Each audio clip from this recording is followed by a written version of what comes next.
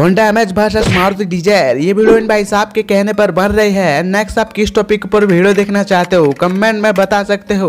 Honda M H मिलेगी petrol और diesel variant में, जबकि मारुति डिज़ायर मिलेगी पेट्रोल और सीएनजी दोनों वेरिएंट में। तो यहाँ पर एक एक पॉइंट मिलता है दोनों को। होंडा एमएच मिलेगी, छह से ग्यारह लाख में, जबकि मारुति डिज़ायर मिलेगी, छह से नौ लाख में तो यहाँ पर फिर से एक पॉइंट मिलता है मारुति डिज़ायर को। होंडा एमएच की इंजन 1.2 लीटर फोर सिलेंडर जबकि मारुति डिज़ायर की इंजन 1.2 लीटर फोर सिलेंडर तो यहाँ पर एक एक पॉइंट मिलता है दोनों को। होंडा एमएच की पावर अठासी बी जबकि मारुति डिज़ायर की पावर अठासी बी तो यहाँ पर फिर से एक एक पॉइंट मिलता है दोनों को।